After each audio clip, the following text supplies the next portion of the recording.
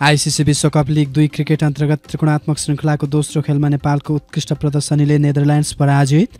शनिबार TU cricket मैदानमा भएको खेलमा नेपाल नौ विकेटले विजय बन्न सफल। नेदरल्यान्ड्सले प्रस्तुत गरेको एक सय अडतिस रनको लक्ष्य नेपालद्वारा पन्ध्र दशमलव दुई ओभरमा मात्र एक विकेटको क्षतिमा पुरा गर्न सफल। नेपालका लागि ओपनर आसिफ शेखले चौन्न रन बनाउँदा पैँतालिस बलमा आठ चौका र एक छक्का हिर्काउन सफल। यस्तै अनिल शाहले विस्फोटक पाली खेल्दै छत्तिस बलमा सन्ताउन्न रन बनाउँदा छ चौका र चार छक्का हिर्काउन सफल नेपाली काङ्ग्रेस सनातन हिन्दू राष्ट्र नेपाल स्थापना महाअभियानद्वारा घोषणापत्र सार्वजनिक शनिबार बानेश्वरमा आयोजित कार्यक्रम मार्फत शोक सङ्गठनद्वारा घोषणापत्र सार्वजनिक। काङ्ग्रेस केन्द्रीय सदस्य शङ्कर भण्डारीको संयोजकत्वमा गणतान्त्रिक वैदिक सनातन धर्म सापेक्ष हिन्दू राष्ट्र महाअभियान घोषणा भएको उल्लेख। संयोजक शङ्कर भण्डारीद्वारा मुलुक र धर्म सँगसँगै रहने भएकाले आफूहरू सनातन वैदिक धर्म सापेक्ष हिन्दू राष्ट्रको पक्षमा रहेको स्पष्टोक्ति आफूहरूले स्वतन्त्रतासहितको वैदिक सनातन हिन्दू धर्मको पक्षमा भए पनि कहिले यसलाई निस्तेज पार्न राज संस्था जोड्ने कुकृत्य गरिरहेको आरोप काठमाडौँ महानगरपालिकाद्वारा सार्वजनिक स्थलमा कुहिने र नकुहिने फोहोर व्यवस्थापनका लागि छुट्टा छुट्टै गरी एक हजार नौ सय पचास सेट फोहोर सङ्कलन बिन राख्ने तयारी।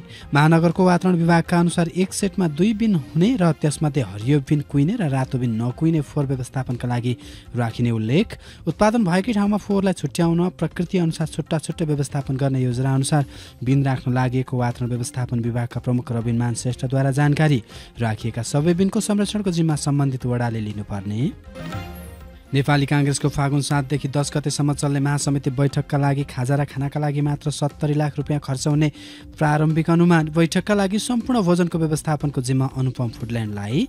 भोजन व्यवस्थापन उपसमितिका संयोजक उदय शमशेर राणाका अनुसार एकजनाका लागि दैनिक आठ सय अस्सी रुपियाँ फुडल्यान्डसँग सम्झौता गरिएको र महासमिति बैठकमा पच्चिस सयभन्दा बढी प्रतिनिधिहरू सहभागी हुने अपेक्षा। बैठकका दौरान सदस्यहरूलाई बिहानको खाजा खाना र दिउँसो खाजा गरी तिन टाइमको भोजनको व्यवस्था गरिएको उल्लेख। साँझको खाना र आवासको व्यवस्थापन महाधिवेशन प्रतिनिधि आफैले गर्नुपर्ने। नेपालीले नेपालभित्र नै नेपाल खोज्न नसकेको नेपाली काङ्ग्रेसका केन्द्रीय सदस्य एवं प्रतिनिधि सभा सदस्य डाक्टर चन्द्र भण्डारीको भनाई नेपालको प्राकृतिक स्रोत साधनको सही तरिकाले परिचालन र सही तरिकाले देशको नेतृत्व गर्न नसकिएको उल्लेख। वीर गोर्खाली भनेर संसारलाई स्वतन्त्र बनाउन हिँडेकाहरूलाई देश विकासमा लगाउन नसक्नु ठूलो कमजोरी भएको भनाई नेता भण्डारीद्वारा मन्त्री प्रधानमन्त्री बनेकाहरूले आफ्नो घर बनाए पनि समग्र नेपाल बनाउने बारे नसोचेको जिकिर। नेताहरूले थोरै लोभ त्याग्ने र कर्मचारीहरूले छिटो छिटो काम गरिदिने हो भने जनताका असन्तुष्टिहरू कम हुँदै जाने दावी नागरिक उन्मुक्ति पार्टीद्वारा कोशी नाम खारेज गर्न माग। शनिबार इलामको चुलाचुलीमा बसेको नागरिक उन्मुक्ति पार्टीको सचिवालय बैठकद्वारा जारी विज्ञप्ति अनुसार प्रदेश नम्बर एकको नामाकरणलाई लिएर भइरहेको पहिचानवादीहरूको आन्दोलनप्रति ऐक्यबद्धता जनाउँदै प्रदेश सरकारले जबरजस्त रूपमा नामाकरण गरेको कोशी नाम खारेजीको माग। पहिचानको आधारमा नाम झल्काउने गरी कोचिला किराँत लिम्बुवान प्रदेश नामाकरणका लागि पहल गर्ने निर्णय। सचिवालयको बैठकद्वारा दुई हजार एकासीमा हुने सङ्घ प्रदेश र स्थानीय तहको उपनिर्वाचनबारे व्यापक छलफल गरी पार्टीको तर्फबाट उम्मेदवारी दिने निर्णय। र पृथ्वी राजमार्ग अन्तर्गत धादिङको बेनीघाट रोराङ गाउँपालिका तिन हिलटप मोडमा बस र ट्रक एक, एक आपसमा ठोक्किँदा बिसजना घाइते।